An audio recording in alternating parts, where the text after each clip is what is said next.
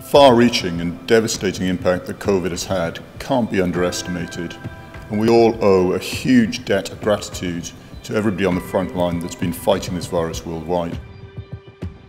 At National Grid, our priority has been to ensure that we keep the lights on and the gas flowing, whilst also making sure that we look after the well-being and the safety of our people and also support our local communities as well as our customers. And I have to say that I've been incredibly proud of the way that we've all responded to the virus, making sure that we support hospitals and schools, as well as other critical infrastructure around society. 2019-20 has been an incredibly busy year for National Grid as we've continued to deliver on our strategic priorities whilst looking to make significant progress on our clean energy transition.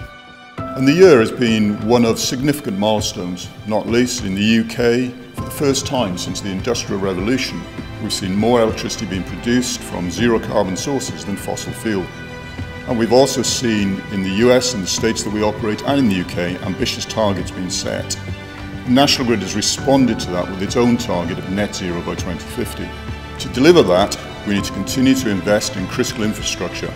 Last year we invested £5.4 billion, including upgrading our Gardenville substation upstate New York, which will deliver safe, reliable and affordable clean energy to our customers for many years to come.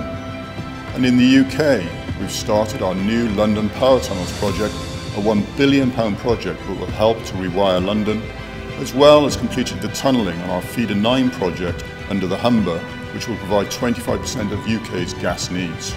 So both these projects are great examples of investments we're making to help on the energy transition. As National Grid looks to the future, we have a clear vision to deliver a clean, fair and affordable energy future. To deliver that, we'll be focusing on ensuring that the energy transition is available to all, working with politicians and stakeholders to deliver the infrastructure for clean heat, clean power, as well as enabling the electrification of transport.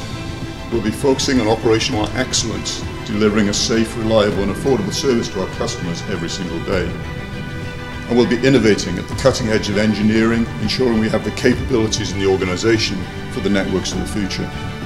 And of course, we'll be continuing to develop our people, creating a diverse and inclusive workforce that has the strength and the capabilities to deliver on the energy transition.